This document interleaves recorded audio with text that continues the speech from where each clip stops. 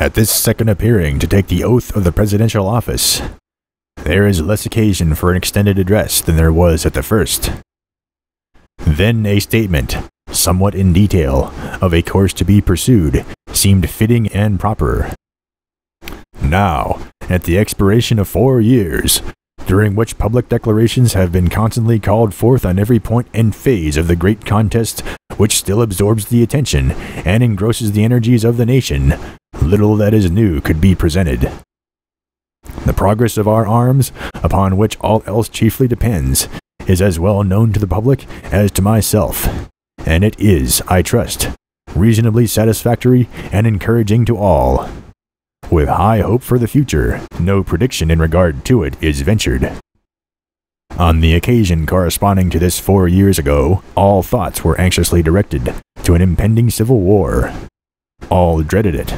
All sought to avert it.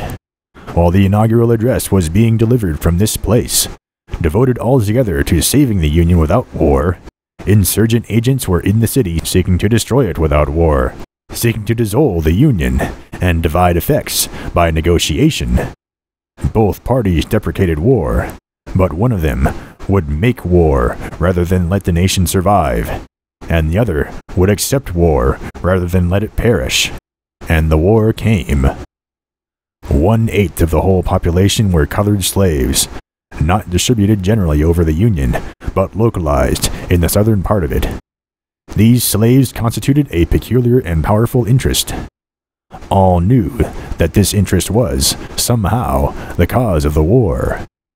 To strengthen, perpetuate, and extend this interest was the object for which the insurgents would rend the Union, even by war, while the government claimed no right to do more than to restrict the territorial enlargement of it.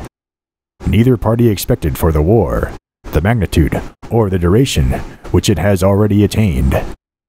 Neither anticipated that the cause of the conflict might cease with, or even before, the conflict itself should cease. Each looked for an easier triumph, and a result less fundamental and astounding. Both read the same Bible and pray to the same God, and each invokes his aid against the other. It may seem strange that any men should dare to ask a just God's assistance in wringing their bread from the sweat of other men's faces. But let us judge not that we be not judged. The prayers of both could not be answered. That of neither has been answered fully. The Almighty has his own purposes. Woe unto the world because of offenses, for it must needs be that offenses come. But woe to that man by whom the offense cometh. If we shall suppose that American slavery is one of those offenses which, in the providence of God, must needs come, but which, having continued through his appointed time, he now wills to remove, and that he gives to both North and South this terrible war as the woe due to those by whom the offense came. Shall we discern therein any departure from those divine attributes which the believers in a living God always ascribe to him? Fondly do we hope, fervently do we pray, that this mighty scourge of war may speedily pass away.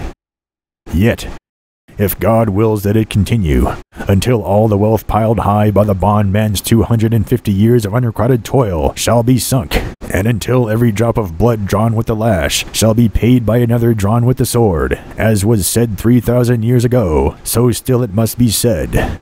The judgments of the Lord are true and righteous altogether. With malice toward none, with charity for all, with firmness in the right, as God gives us to see the right, let us strive on to finish the work we are in, to bind up the nation's wounds, to care for him who shall have borne the battle, and for his widow, and his orphan, to do all which may achieve and cherish a just and lasting peace among ourselves and with all nations.